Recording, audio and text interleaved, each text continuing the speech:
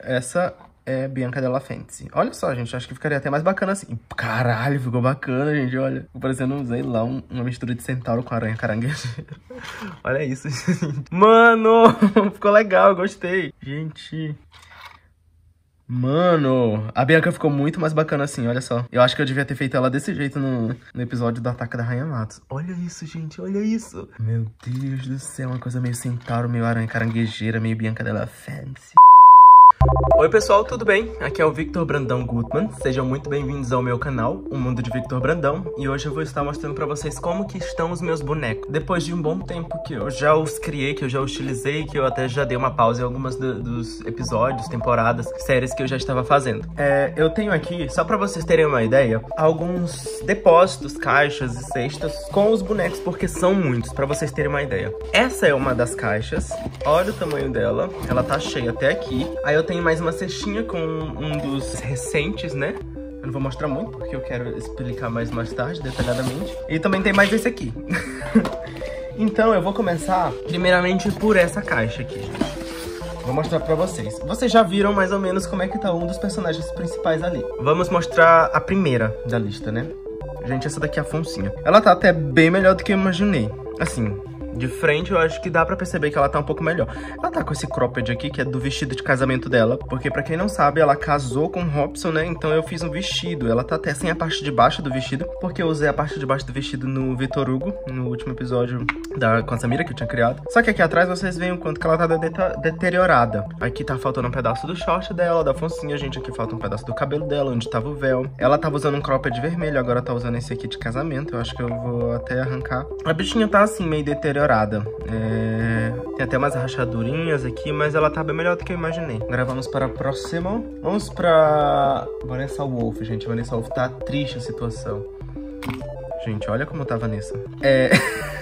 a Vanessa foi o primeiro boneco que eu fiz de massinha de modelar que se animava, que se movia, né? Boneco, assim, de pessoa, porque já tinha um Robson de massinha de modelar. Já a Vanessa, ela foi a primeira que eu criei, assim, de pessoa mesmo. Eu, gost... eu queria que ela batesse palmas. E, gente, foi muito complicado, porque quanto mais eu movimentava a boneca, mais ela se desmanchava. Olha só, o esqueleto dela saía, aí eu tinha, no meio da gravação, eu tinha que remodelar, aí de repente ela tava imunda de suja. Vocês estão vendo o quanto que ela tá suja aqui? Cheia de marcas, assim, né? Porque a gente movimenta. E o principal, gente, ela tá sem perna, né? É o principal. Por que ela tá sem perna? Porque eu queria que ela ficasse sentada no banco da igreja lá no casamento da Foncinha com Robson e com as pernas dela, ela não entrava no banco de jeito nenhum. Isso não só aconteceu com ela, aconteceu com várias outras bonecas de massinha que eu tive que arrancar as pernas pra eles caberem no banco porque eu queria que eles ficassem no casamento da, da Foncinha. No mais, ela tá até...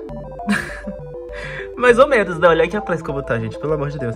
Assim, é um pouco difícil lidar com esses bonecos de massinha, porque, tipo, a Foncinha eu fiz uma temporada de uma série inteira com ela, ela continua aqui de boa. Já essa massinha daqui, essa daqui de massinha, eu fiz poucas coisas com ela. Ela ficou mais tempo sentada do que em pé e ela ficou bem deteriorada.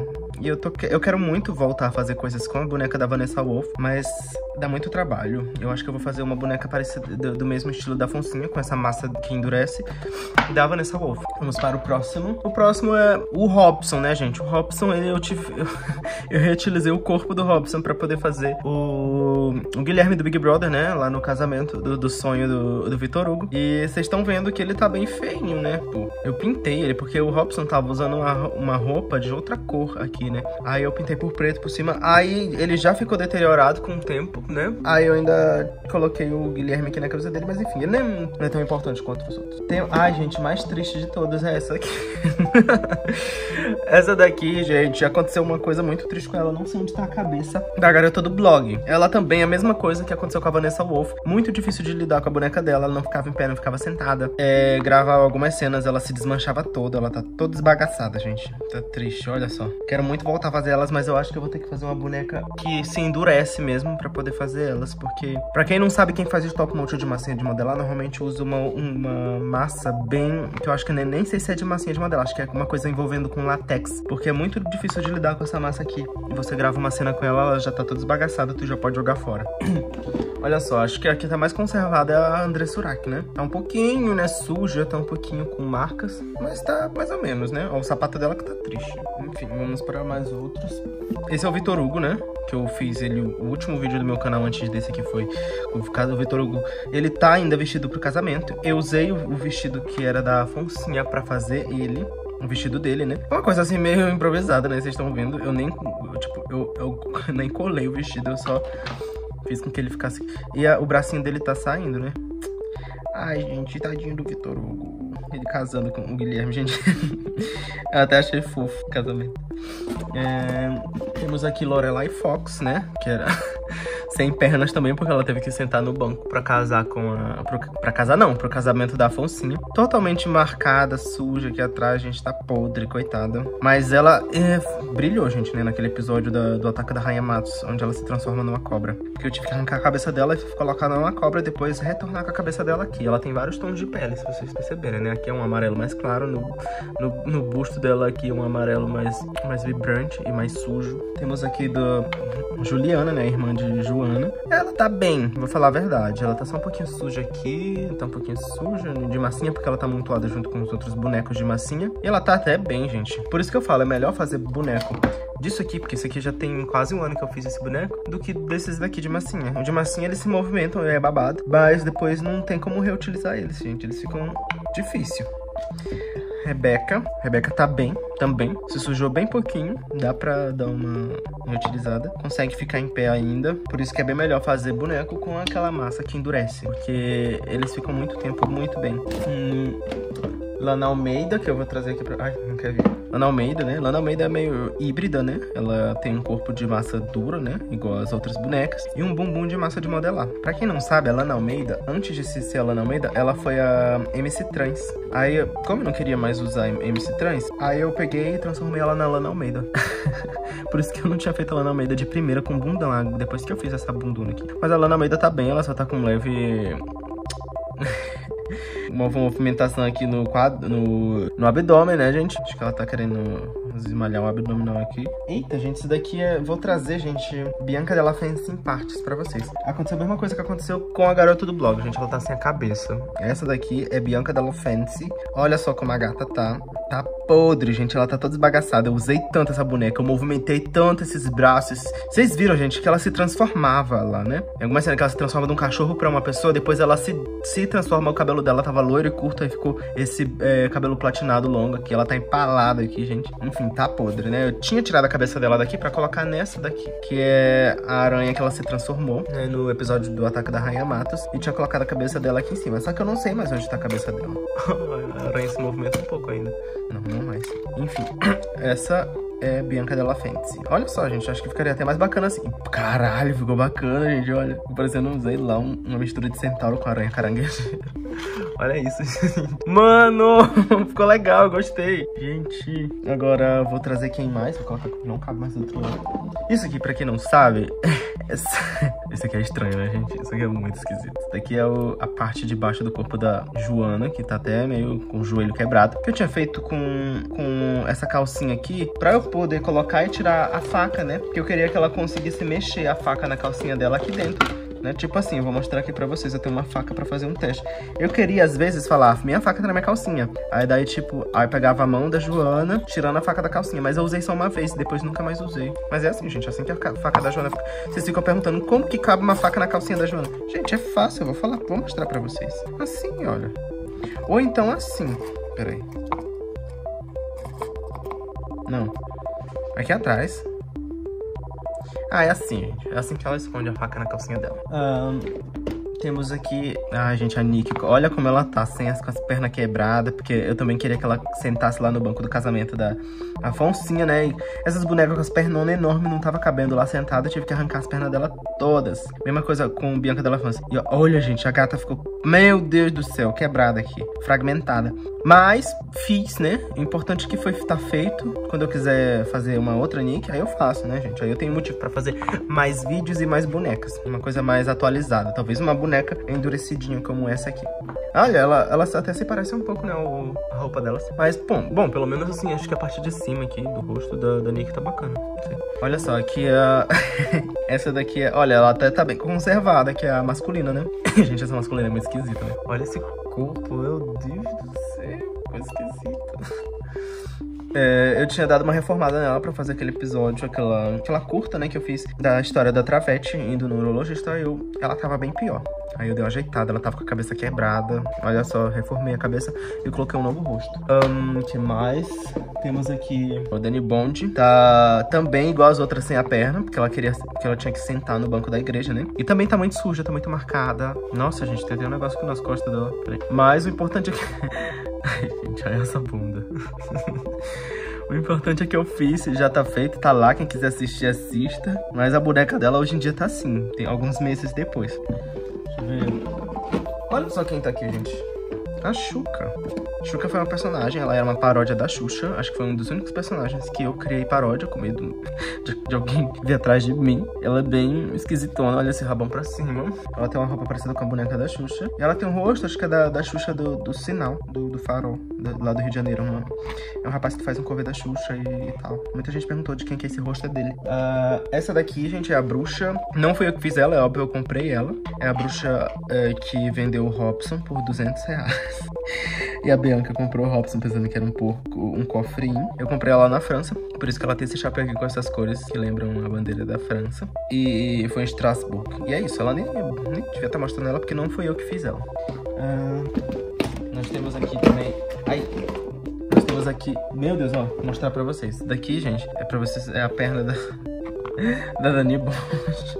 Ai, meu Deus. Olha isso, mano. Ai, gente, eu tive que arrancar.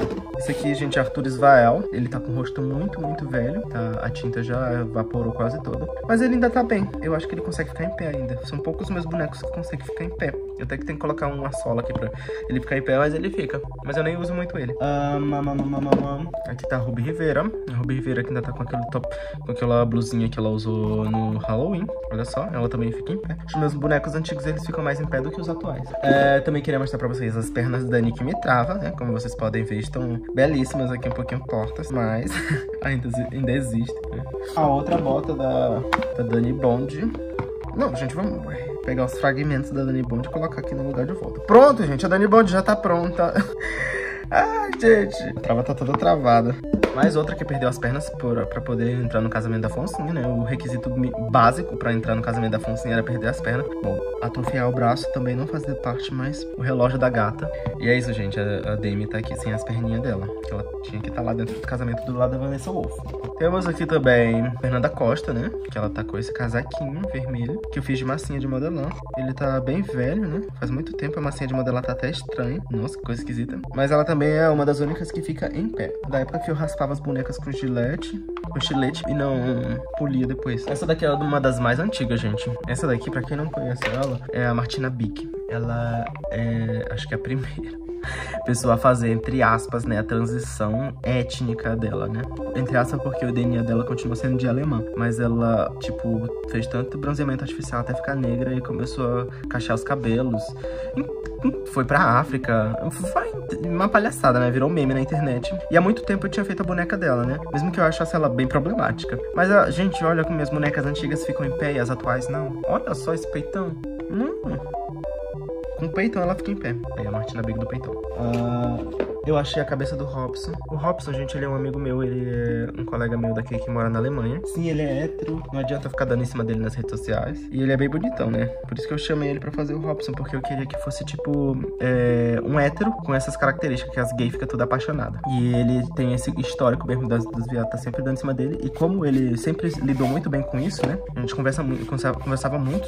Hoje em dia a gente, eu, ele, a gente não tem tanto tempo de estar conversando, mas antigamente, quando não tinha muita coisa pra fazer, a gente conversava muito. E ele me falava que as bichas se apaixonavam por ele porque ele era muito simpático com as gays. É, que mais? Temos aqui a mão da Dona Joana, né? Que era pra pegar a faca dentro da calcinha aqui dentro. Temos aqui o policial Alonso.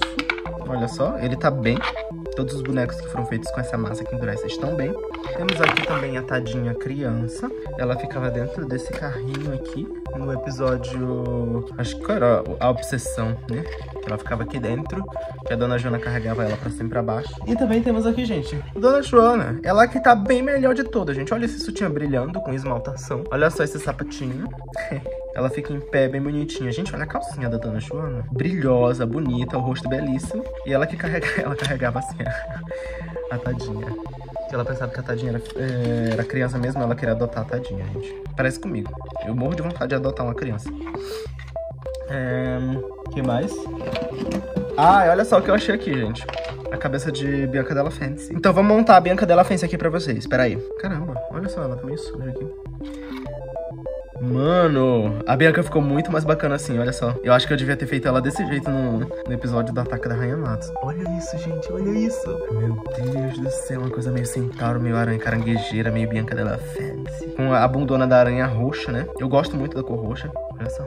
Olha, olha assim de lado, de cima, de baixo, de frente, andando. Um, que temos mais aqui. Achei, gente, a cabeça da garota do blog. Olha só. Eu vou montar a garota do blog. Eita, ela tá bem embaixo do, do outro boneco aí. Gente do céu. Vou montar a garota do blog aqui pra vocês. Pronto, a garota do blog tá pronta aqui. Eu não sei, acho que a cabeça dela saiu sem... Eu não tirei não, eu não coloquei em outro lugar não. Ela saiu sem querer. Aqui tá a garota do blog. Impossível fazer alguma, algum vídeo com ela desse jeito. E aqui tá a cabeça do Robson, gente. Olha que triste que ele tá. Ai, meu Deus. uh, deixa eu ver se tem mais bonecos. É óbvio que tem mais. Um, aqui. Ah, peraí. Agora eu sei por que, eu arranquei a cabeça do Robson, gente. É porque quando ele foi se transformar em homem, eu amassei o, o, o porquinho e fui fazendo meio que ali com um corpo meio de ser humano, né? Pra, pra ele se transformar no boneco do Robson, né? Agora nós temos também aqui, gente, chilena. Chilena ainda tá boa, porque eu usei ela no último vídeo. Ela se sei se vocês perceberam, ela tá usando aqui um rastreador eletrônico aqui no pé, uma tornozeleira eletrônica, porque ela tá... Ela precisou, né, sair, mas voltar pra prisão pra fazer aquele episódio. Ela ainda tá presa. Uh, que mais? Ah, e do outro lado temos outros bonecos mais importantes também. Olha só, temos Rainha Matos. Ainda tá bem, Rainha Matos é bem antiga. Fiz ela há muito tempo, muito tempo mesmo. Temos aqui Marta Golpista, também tá muito bem. Continua, consegue ficar em pé. Rainha Matos mais ou menos, né? Cai pra trás. Rainha Matos cai pra trás. E Marta Golpista também tá bem. Eu acho que foi um dos primeiros bonecos que eu fiz. Martinha. Temos aqui a Tadinha. Ela fica em pé também. Ela tá com as chuquinhas na cabeça e com a cara de velha. Temos a advogada Petrúcia, com seus peitões belíssimos aqui, militando sem usar sutiã. Temos a Estela, que é a ex-mulher do Alfredo. Todos estão na prisão, gente. Eles só saíram da prisão pra poder fazer esse vídeo aqui. Eu, gostava, eu gostei muito dessa boneca, gente. Eu coloquei muito brilho nela, ficou bacana, né?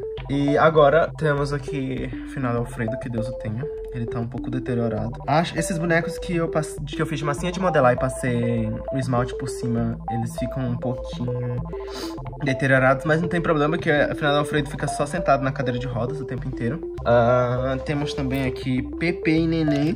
Olha só, Pepe e Nenê é... Eu, sabe, a boneca dela mesmo, eu só uso pra aparecer a cabeça delas nos vídeos, tipo assim, pam. E por isso que eu não me importei de fazer o corpo inteiro dela. Essa daqui era até o corpo da aleijada hipócrita de outro vídeo. Ah, agora a gente vai pros bonecos mais atuais, né, gente? Tem aqui o Fio e o Edu, gente. O Fio tá com aquele problema do final do Alfredo aqui. A jaqueta dele tá um pouquinho, né, rasgada. Mas ele tá bem, continua, continua ficando em pé. E eu gosto muito do, da cabeça dele, gente. Olha, eu gostei muito de fazer a cabeça dele, porque o cabelo rosa, o chapéu e tudo mais ficou muito legal. E o Edu tá aqui. O Edu também tá com aquele probleminha na jaqueta, gente. Olha só, toda esbagaçada aqui do lado. E ele também tá com probleminha na perna, gente, olha. Olha só. Aí é difícil ele ficar em pé. Tá com um pé quebrado.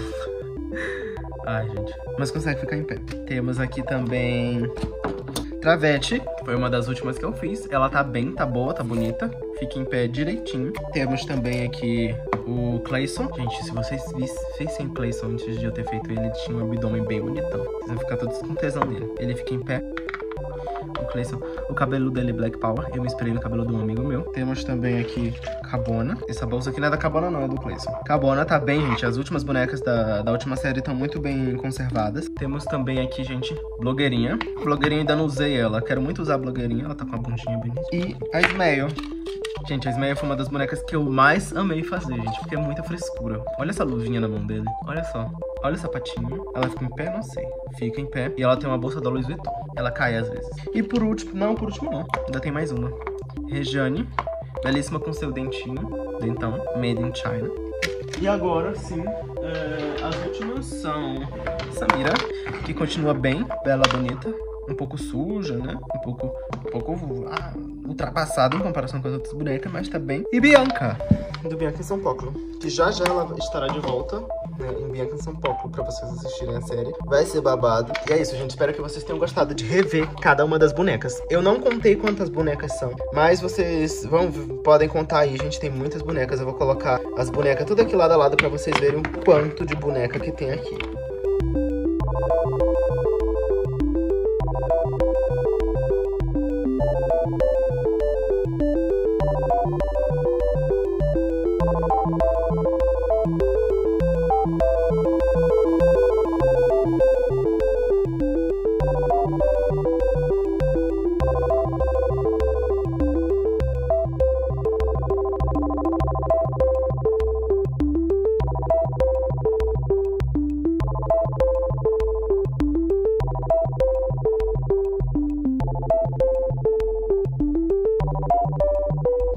Gente, eu tentei colocar o máximo de bonecos que fizeram parte da minha série aqui pra vocês verem em cima desse local, dentro do, do, do espaço da câmera.